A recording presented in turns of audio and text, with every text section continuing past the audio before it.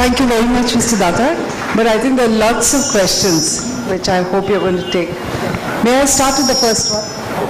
I want to ask you about another person from Chennai, Yes. uh, Dinesh Dalmia. Yes. You know, I, you said that people spend a lot of time before they are prosecuted. But I remember Dinesh Dalmia spent over a year in jail, usually sitting in hospitals with ACs. But a Calcutta policeman told me that this is the only time he is going to serve in jail. You know, because you may get very upset at people, even at Tarun Tejpal. Frankly, we're quite horrified at the number of times, you know, without a trial, their, uh, uh, their arrest is uh, extended. So do you think that this makes any sense, that people should be serving their jail sentence before a trial rather than after? And what is the solution? Frankly, if you take the Supreme Court judgment, it says uh, bail is the rule and jail is the exception. But for example, in Ramalinga Raju, he served several months in jail. Even uh, bail after bail application was rejected. And unfortunately, what I now find is, and is that it is a worrisome thing for me. It's often a trial by media. Your, whether it's a Justice Ganguly episode or some, or Tehelka, I don't know. But uh, in the media, you are already pleaded guilty. And if you're a case which has been in the media for some time, then it's very difficult for you to get bail. And to tell you the truth, I've, my friends who practice in the criminal bar, there's a sort of fierce psychosis at the magistrate level. They don't want to give bail because they are afraid that their promotions will be halted, they'll be accused of malpractice. So in Chennai, the pathetic situation is even cases of 20 liters of arak, I don't know what you call it in Maharashtra, arak is uh, country liquor, bail is rejected.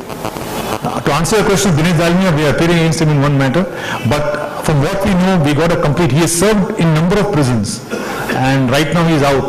But uh, at least here is a case where he sp- spent some time in jail, you see. Like for example, 2G cases. Now, virtually it's impossible to get a bail because no magistrate will dare give you a bail, which was not the case 25, 30 years ago. In the case of uh, Satyam, it went on for seven long years. The trial. No, no, the affair. Yes, yes. Now, don't you think the auditors are equally responsible? See, they have got their own story. They say we were given uh, fabricated uh, fixed deposit. Now, if I give my auditor a fabricated fixed deposit certificate, to what extent he does it? But of course, I think the, the partner also went to jail, so that was also an unfortunate part. I think senior partner also went to jail. Acha. No, no, my information, he also went to jail. Okay, sir, thank you so much for your, uh, for a wonderful uh, presentation. Thank you. Sir, three questions, three quick questions. One on Satyam. I mean, okay, the man got fictitious deposits, etc. The man was already, the company was already doing well to an outsider. Every young chap wanted to emulate him into IT, etc. So deceitful act as just described in the uh, Companies Act, fraud. So what was the deceit and what was the need to do, to do all this? He was already doing so well. Mean, to what, uh, to what purpose? That's my question, sir. Well, from what we see in the case is that, and which is reported in the media, is that one reason was to prop up the share prices, and which were again used to raise money for the Maytas project and so on and so forth. And a lot of la- large tracts of land were purchased by the family also. So, and one thing in Satyam was ultimately it became so big at 53,000 employees. And one credit to the government was within a short span they were able to get a person who could at least take over the company and save it. But the way the income tax department has gone after them after that, no person will now bother to go and take over such a company. To answer your question, why did that, the, what information is given to us by the instructing counsel, counsel is that it was only to keep the share prices propped up. Because there was no income, there was no foreign sale. So it was a kind of a rosy picture which was not true. Okay, my second question, sir, on Sahara. Uh, It is, you did not, you didn't touch upon this topic right now in your presentation. But the fact is that, uh, reported in the press, is that the Saharas were directed to give security for about 20,000 crores. And it is also reported in the press that it is you who challenged that security, that this is not really 20,000 crores. My question is that, how are you concerned with Sahara uh, the, the the bench is given an order that 20,000 crores be deposited with the registry. Normally in hundreds of bail cases and hundreds of corporate cases, you go to the bench, you, you go to the court, to, the- to the registrar and you give your documents, it is their duty to examine. My question is, how is it that it came to you to examine, point number one? And if it really was not 20,000 crores, some land under development agreement in Mumbai uh, with Bangalore, etc., how come, how is it that you were asked to comment on this? And secondly, why didn't the court's office do their own homework? They, they have to report compliance of the court order, not, you don't have to report compliance of the court order, you are a biased party. That's my second question, sir. Yeah, I'll answer your question on Sahara quickly.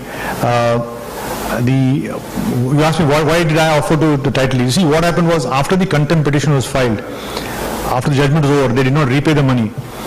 Then they said that the stand taken by Sahara is I have refunded everything. All that remains is 2,620 crores is all. Everything else has been repaid. Just to make sure that there's some buffer, I'll give 2,620 crores plus 2,500 crores, so 5,120 crores is deposited in the designated bank to meet the requirements of the remaining depositors. We told the court that, look, there is no evidence of the refund being made. Though you have given us so many documents, the documents are not tallying, but I've been taking the right from day one. I need the cash flow. If you say I've refunded to somebody, where is that money? That has been my song for the last nine months and finally it has been accepted now. Now, in the middle, what the argument of Sahara was, which came in the press, was that, look, I have refunded 20,000 crores. If you now ask me to pay again, I'll be in a soup. So instead of paying the money, I'll give you property as security. So the court said, all right, give property as security. So what happened was they gave property of land at Versova. They said they got 116 lands at Versova next to Lokhandwala complex. And I believe, I'm not from Bombay, but I believe all the glamorous people live in Lokhandwala and they said it sells at 35,000 a square foot or 40,000 rupees a square foot. Maybe it's true, I don't know. The point was that when these title deeds were given to us, we, with this, the young colleagues of mine and the SEBI officials, they did not check on that and they found that that particular land is the subject matter of a notification where no building can take place. It's a Minister of Environment notification where no building can take place. But initially what Sahara did was, they said we got 115 acres of land. On this 115 acres, I can build so many villas, I can build so many flats, I can build so many things. Now these flats etc. will be sold for 37,000 crores in 2019. The discounted value of 2000, uh, 37,000 crores in 2012 is 21,000 crores, so accepted as security. We rejected that. But when we pointed out that no building is possible, the court rejected that. Then they gave further documents which you're supposed to examine. And now the thing stand is, you asked why, because the court wanted to give them a chance. If you're really refunded, we won't penalize you because so many employees are there, they should not be affected. But now the question is, title deeds and more important, where is the money? Yeah, I think I'll, I'll take it later. Sir, uh, in the new Companies Act, uh, quite many number of uh, provisions have been incorporated with summons and uh, extending it, extending it to pro- prosecution. How effective would this be, uh, whether it would initiate more effective cover-ups and extending this to prosecutions and summons to independent directors who have limited time and interaction? Would it, would many good people desist from becoming, No, no, is it going to be counterproductive? No, there are uh, ministry circulars that independent directors, government nominees should not normally be prosecuted. There is enough case law that unless you have got a direct involvement, you will not be prosecuted. But summons case is a very, very interesting development. If That is, they, they can really launch prosecutions and bring it to fruition very fast. Yes, please. So there is 2G case, uh, which, which is a landmark case and Ganguly is on the wrong foot. I mean, he is right, but he's like penalized, my personal opinion. Secondly, we are heading for a Colgate scam. Very close, today's news are very depressing for the country as such. Corporate uh, telco people who have signed the documents have told that they forget signing the documents. They? Forget, this is not my signature, it's a document. Now, how do you catch these things, you know? Senior people within the organization say, my signature, I don't remember. Well, I don't know the details. If you say It's, that's not, it's, it's, it's no, they can also also, the 2D that's not, a, that's not a big problem. It's also- ADAG group chairman telling that I don't remember my signature on I Swan don't comment on the individual cases, but Yeah, I- that's why I didn't want to go into specifics, but these are documented uh, news facts. Yeah. Yeah, 2G scam, yeah, Subramanian Swamy spoke quite a bit on that front. Yeah, yeah, sorry. As far as the signature is concerned, it's not a bit difficult. You can send it to a forensic examiner. You can compare the two signatures and say that it is your signature. You are simply saying, it's not my signature, is not going to get you off. That's not very difficult at all. As far as 2G is concerned, the point is, like in such a large scam, there are a lot of innocent people who unnecessarily got caught, but then that's the whole uh, trial process. And now they all feel that it's difficult to get an acquittal in the court. Let's see what happens later. So now you were talking about the Sahara problem, the matter did come up, you said some letter sent from Indore, some letter sent from Bombay, and the matter was exposed. Suppose it were not exposed, where would have led, where would it have led? See, we do not know, uh, it may not be of such magnitude, but so many things have come and gone and nobody has noticed it. So many, see, for example, as I told you, 1100 crore depositors, 4 lakh people, not one conviction. So, and on a lighter note, you mentioned about the knee replacement, Yes, transfer of property. but there's no notice in Maharashtra, you can be safe. So, suppose, suppose I get my appendix removed in Madras, what happens? I I have not known about appendix, The- I don't know if you can claim a set-off because part of your body has gone to Apollo Hospital.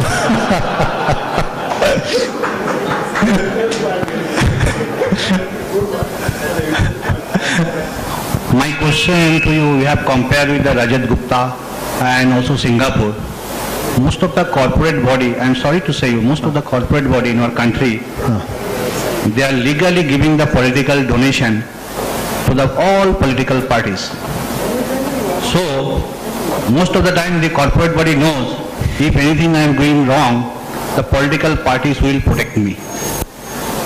Just like, frankly speaking, Subrata Roy, Sahara chairman, told in the Times Group, Arnab Goswami in direct question, why not I giving the, all the political parties in our country, giving the political donation, huge amount of money. If they require some appropriate authority or court, I can give them donation and whatever the necessary they can do. So most of the time our country this happens because the corporate giving body giving the huge amount of donation all political parties so they can do wrong. You agree with me? No, that's a- that's Whereas he cannot do in the Singapore and in America. You're right, there's a larger evil that persists in our system, there's a move to legalize donations and so on, that's a major problem, that's right. That's why, that's one reason why none of the education institution gets prosecuted. Because every politician has a medical college and you're a person who can't pass 11th standard who becomes the vice chancellor of the deemed universities. It's the truth of life, unfortunately. Yeah, I don't want to say that anyway. uh, Mr. Dutta, got- got two questions over here, to your left. Oh, sorry. Yeah.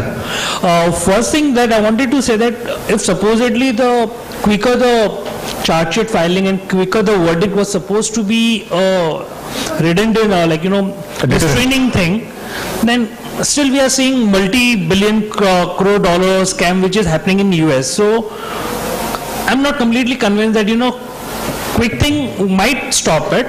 Something more which I don't know, because had it been restraining, like, you know, sending 100 years jails and something which we read on and off sometimes, then the crime should come down. Uh, point number two, which is like more into the 2G case, generally what happens that whenever the license have been cancelled, the money which has been already been paid has been taken as a penalty and has been given to the state.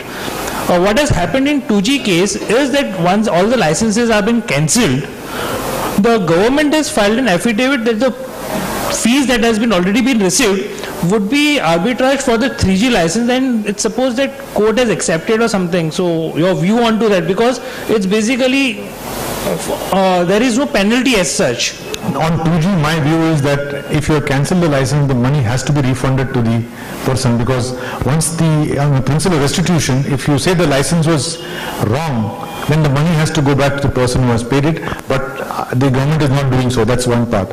Secondly, on deterrent, I beg to differ, according to me, if you prosecute people, it is a strong, strong deterrent. And I'll just give an example, forget the corporate fraud, building regulations. You'll be surprised to know that Tamil Nadu government passed a regularization act. Whatever your uh, irregularities, you can pay 50 rupees per square foot, 100 rupees per square foot and get it regularized. But the shocking thing is, if you take the preamble to this regularization act of Tamil Nadu, the preamble to the act says more than 50% of all constructions in the city of Chennai are illegal. Now, how can you have 50% illegal? Because unless you know nothing is going to happen. And I'll just tell you a story, is, it's a stayed in my mind. About 10, 12 years ago, a retired chief secretary came to me, he had started some industry, and he came to me with some central excise problem. And you know what the chief secretary tells me? He says that, look, Datar, in India, you do what you want. If you violate the law, there's always a scheme for regularization.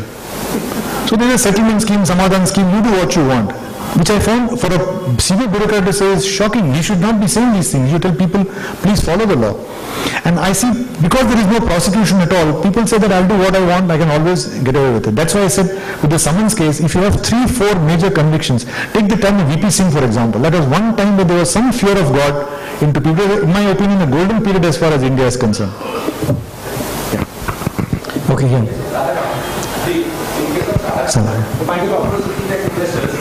Benami investors, is it a case of money laundering? you want what the answer, I don't know.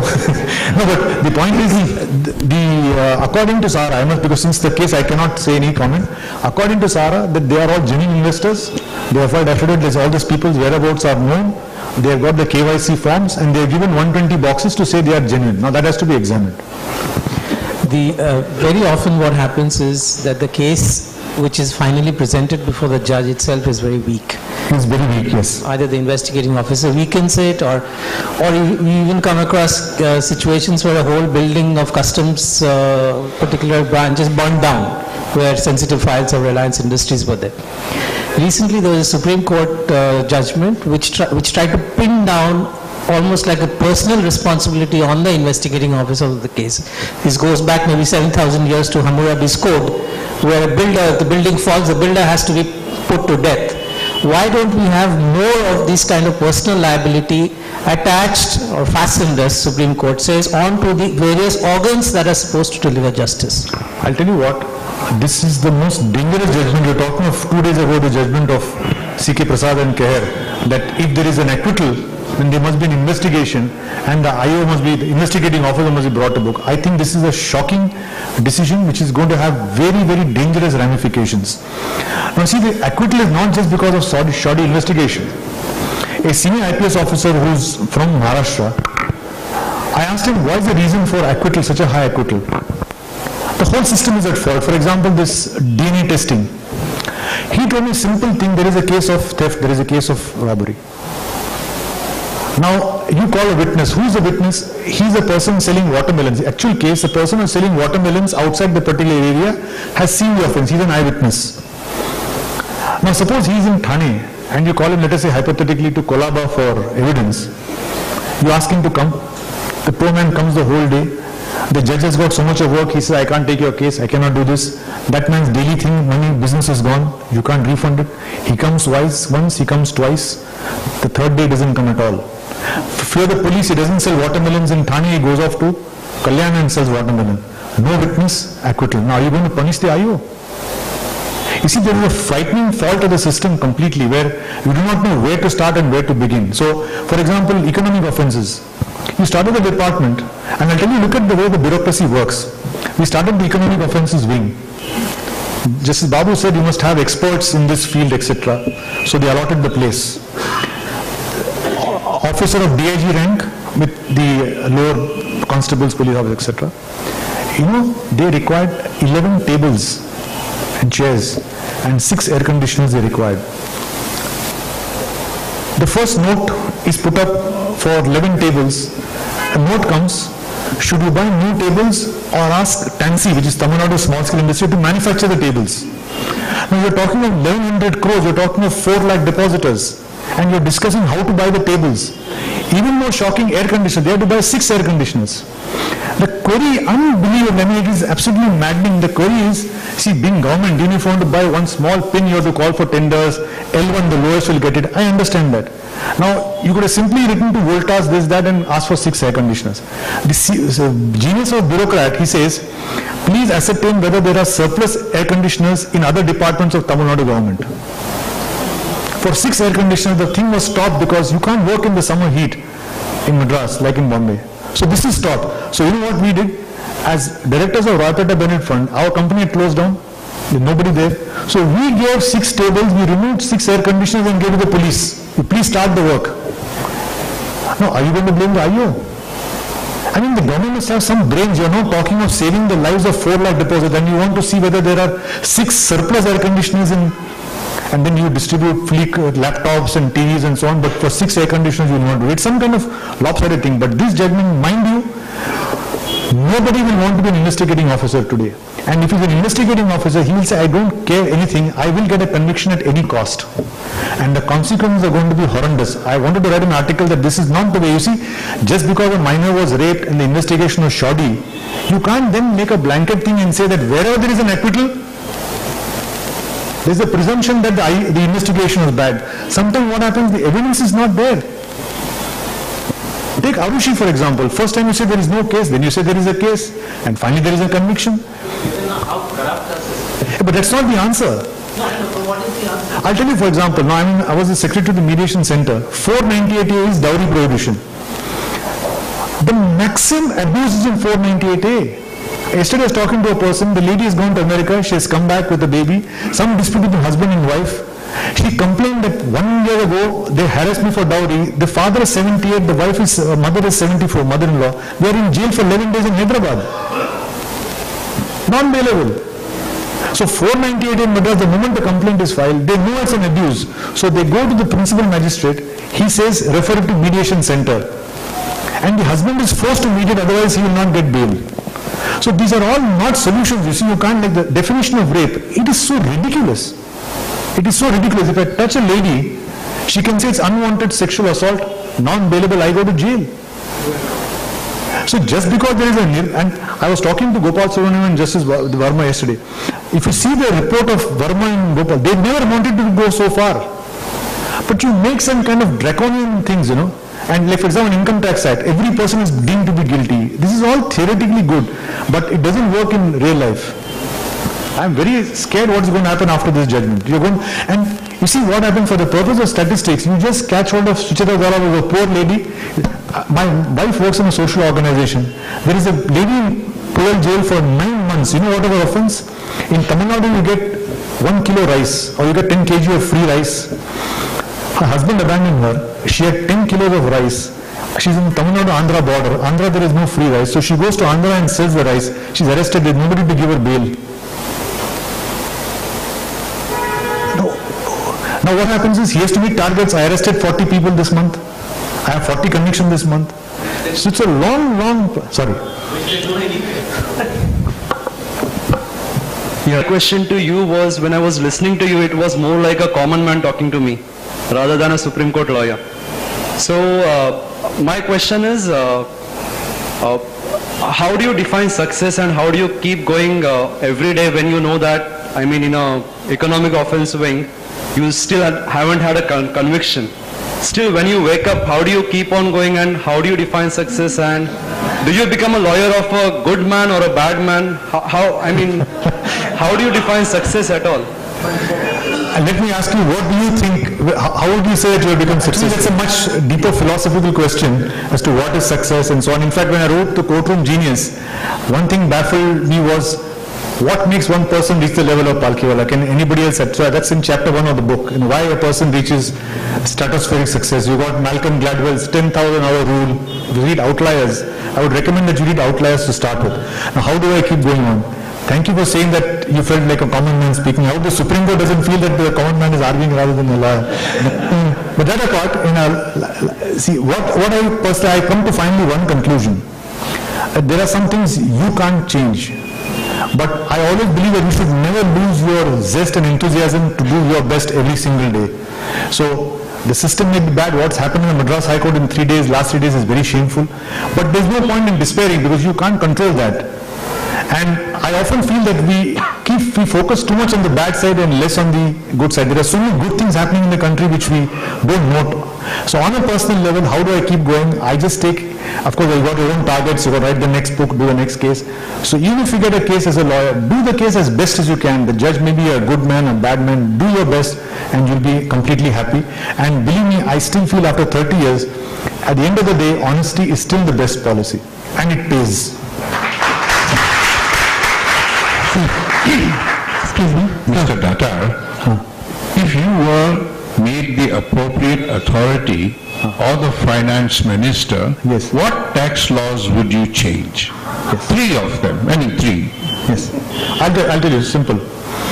First, I won't have the GST. In a federal structure, I won't have GST. If you ask me, I've been thinking about it as far as income tax is concerned. I will personally follow the flat tax system of having a simple tax, 10%, 20% on corporates without multiple deductions, exemptions and so on and so forth. It's been done in Estonia, it's done in 11 EU countries with phenomenal results. There's an article in The Economist on that. I would personally follow that model. I will do that. And within the Income Tax Act, I will never make a retrospective amendment. And most important, I'll have a five-year plan and say that this is going to be the law for the next five years and it will not be changed unless there is supervening national interest that requires it to be changed. You see, for example, Mir, my friend, has worked on the income tax book with me. Take ATIA, infrastructure. There are 14 subsections, 9 explanations, 10 pros, and man goes mad reading it, you know. And I'll tell you, in case if you have any difficulty in sleeping, just take the income tax and start reading it. You don't require sleeping tablets. Excuse me. So, uh, you saw the finance, min- the voluntary disclosure scheme for service tax just ended 31st December. When the finance minister first announced it, hmm. he was very clear that this scheme is meant for people who have paid the service tax but have not filed their returns because he gave some statistics of how many people had not filed the returns. When the scheme actually came out, and then there were multiple clarifications that they came out with, the scheme said that people who have not paid their service tax can go ahead and pay and they will be scot-free. But those who have not filed the returns, they cannot go scot-free even though you may have paid the service tax entirely.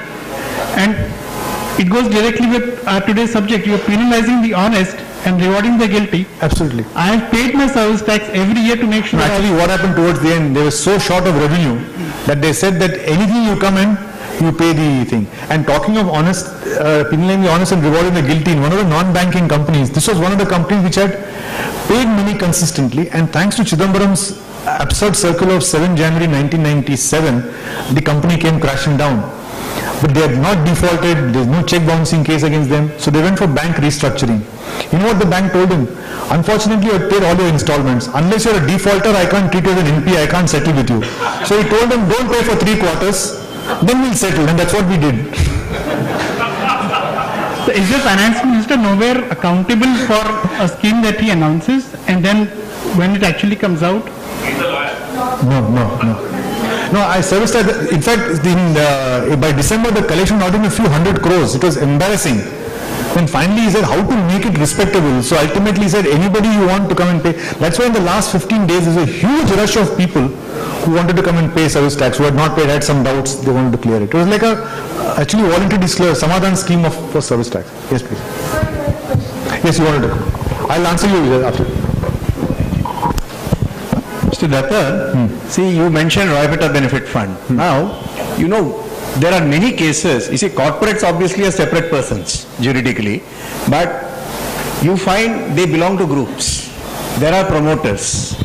Now, even if you do investigate a particular corporate, very often, for example, Royapettah Benefit Fund, there are numerous other companies, there's even a medical college promoted by the same promoter, but nothing happens to the promoter or to all his other activities. I mean, really should, is there any way of reaching punishment to the promoters as well?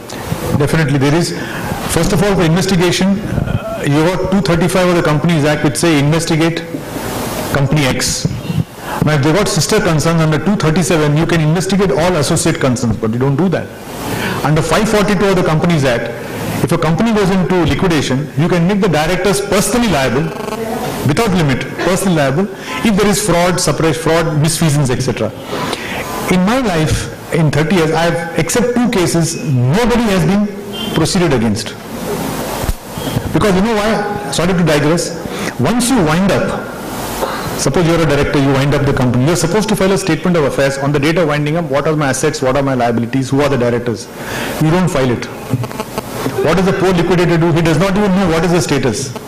And our Supreme Court has given a judgment that the burden of proof is on the liquidator to decide who are the directors. He has no information. So he files an absurd application, it is dismissed. Unfortunately. There are wonderful provisions in the law. There is no shortage of the law. It all requires the will to apply it. but you can easily investigate groups. In fact, in MCC, what happened was, it belonged to the SPIC group, we were able to put the promoters, and the other SPIC companies contributed the money, by which we paid 65 paise in the rupee for the Mercantile Credit Corporation. The group had to pay, because in the prospectus they said belonging to the MA Chidambaram group. So we said when you collected the money, it was the Tata group or the Birla group. When it comes for refund, you can't say I'm a separate legal entity. Mr. Datar, since I'm the president of the All India Importers Exporters Association, I deal with a lot of indirect tax issues and also income tax issues because of the 80HHC fiasco, you know. 80HHC, yes, yes. So that's another. But that's all gone in 2000. Yeah, I know, I know, but it is still, the cases are still going on. So we have formed, a fo- it may interest you to know, Forum for Fairness in Taxation. And we are working very hard in that direction. And uh, you may ask me, how come as a layman I was involved in that? Uh, and to answer your question that if you don't get sleep, read the Income Tax Act. You see, I'm a mathematician by education and my special subject was topology, which is considered the most complicated subject on earth. So I got bored. I got bored. So I asked, I went to Einstein in the seance and asked him, I'm bored. I, is there any other more complicated subject? He says, try, try to understand the Income Tax Act. Thanks for proving my point. You said uh, that uh, we should not uh, eliminate the income tax act. That's saying. Now, those who are make this as a provision of not having income tax act to be, I mean, to eliminate it. Our Ramdev Baba is saying that there is a lot of money lying in some foreign countries, black hmm. market, this hmm. thing. Hmm. Is this, this rewarding the guilty and penalizing the honest? No, I think it's suggesting the absurd. Very frankly, Ramdev Baba, you come in the dhan lao. Are, is it easy? Be mad, you think I'll keep one million dollars in a Swiss account and not invest it somewhere. The whole thing, I mean, I don't know whether to laugh or to cry. And all the political leaders says, yes, I'll bring all the whole kala dhan into India. How will you bring a kala Suppose it is there like that. No, the other suggestion is make it a national asset. Okay, make it. Yeah. Like that gold in the town and near in Kanpur. No, that is a different, that is a uh, astrological thing. I'm saying as far as the black money abroad is concerned, it's a very serious thing. It's not so easy to, uh, and you see this kind of suggestion by people, unfortunately you're a yoga teacher. Why do you get into taxation? If I start teaching yoga tomorrow, what will happen? So you stick to your subject. Now, to answer your question, abolishing income tax. Now all of us are educated. Where will we get the 3 lakh crores? All the indirect taxes are there. No, no, where are you going to get it? The excise is there, this is there. So Al- Already, already the saturation. The election is not, uh, I mean, a cost. See, it's very difficult. You require money to run the government, you have to pay salaries, you have to run roads, you have to run the defense. And run the income tax department also. Yeah. Hello. Uh, in case of Sahara, in the case of Sahara, there are crores of investors, and as a layman, we understand, you know, that uh, you know there is high chances of you know Benami investors. It's a highly connected group. Still, Supreme Court has taken you know uh, action against it. But still, do you think the Supreme Court is really liberal, you know, by giving them a lot of extension? The other thing, you know, uh, whether the case is, you know, going very too technical, you know, that there are crores of investors and, you know, you're just uh, looking at the technicalities, you know, what is the security value, whether these have been repaid. Why the Supreme Court is not going beyond, you know, the common man things, you know. There should be something beyond what the technicalities. So as a, as a general common man, you know, these are my observations. Somehow, I feel, you know, whether they are very liberal to the Sahara group. I don't want to comment, I don't think they're liberal at all, but for the Supreme Court, we would not, they are not liberal at all. I think they're going absolutely on track. You see, the point is in law, everybody is entitled to a chance. What happens in the public, we decide that Mr. So-and-so is guilty, therefore don't give him a chance. Like for example in Kasab, my wife kept thinking, me, why do you require a trial at all? You saw on the TV, अरे काय उरलाय काय, त्यांनी मारलाय त्याला hang him. But unfortunately you can't do that, you have to go through the uh, trial. I don't think they are being liberal. As I told you, they pleaded saying that I have refunded the money, therefore give me the title deeds. So they said, okay, produce the title deeds. Now they say, show your refund. So they are going step by step. What happens in the Supreme, unfortunately, this bench doesn't sit on a daily basis. It sits specially for Sahara on odd days. So they have sat last week, and the next date is the 28th of January because they have other work to do. There's so much of pendency in Supreme Court, they really don't have no time. So I don't think they're, they're going in their own way. Yeah. This part of the original companies. Now, what, uh, what they are doing with these reports, even if nowadays they are not giving sufficient information in the annual report. So if I want to find out the fraud, how can I do that? Now they are supposed to do the technical scrutiny of these reports. I have asked technical scrutiny from some particular company, they have not done it yet. Now regarding serious fraud, now they say fraud and serious fraud. So what is fraud and what is serious fraud? They have not uh, uh, even uh, uh, legislated that provision in the uh, Companies Act.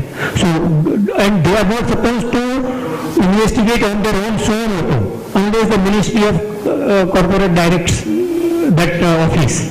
So how do you find out these frauds and all these things? As far as your question is concerned, they filed annual reports. As I understand, there are 209 inspections under section 209A where they make inspections and they ask the company to respond on various uh, matters. And uh, there are cases where they have detected some amounts that have gone, but there's no follow through. They find out something and they leave it at that. As far as serious frauds office is concerned, since Scotland Yard had serious frauds office, we said we must also have serious frauds SFIO. So uh, yesterday's uh, website when I see, I think your articles are also there on the website there. They mentioned that this year they have filed a record 76 investigations they have taken up by the SFIO of the serious frauds uh, office. But you know, ironically in Satyam, we showed that the serious fraud office has said that 5,000 crores are bogus. The income tax department says we don't know about SFI, we do our own investigation. So I don't know what is going to happen. But on fraud and serious fraud, I don't know if there's any distinction above 100 crores is serious fraud. Huh? Above 100 crores is serious fraud.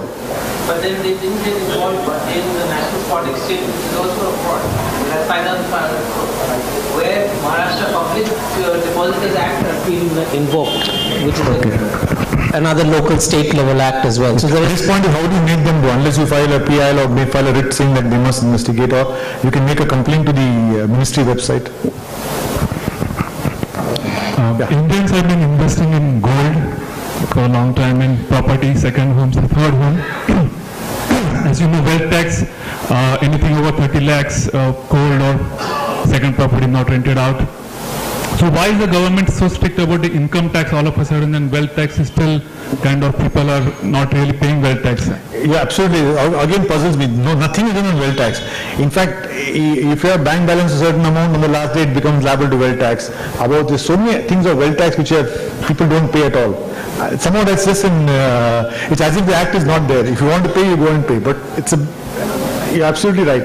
In fact, last year I was telling my auditor that, you know, he says hardly anybody files tax returns. Uh, Can we have an act like in the US, they have the Sarbanes-Oxley Act, then there actually CEOs and CFOs go to jail for a change. And uh, even a person like Rajat Gupta, with all his, you know, fantastic achievements in life, can go.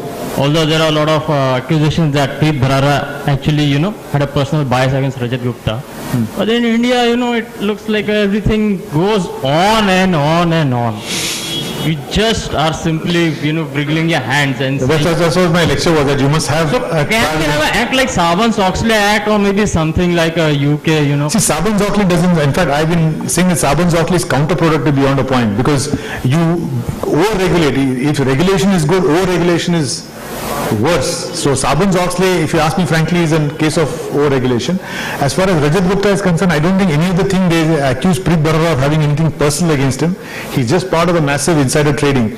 And interestingly, if you read the uh, judgment of Judge Rakoff in the Southern District Court of uh, Southern District Court of New York, a lot of submissions were made that Rajat Gupta has done so much of charity, he has started this institution, he has done this, he has helped so many blind people, poor people and so on and so forth.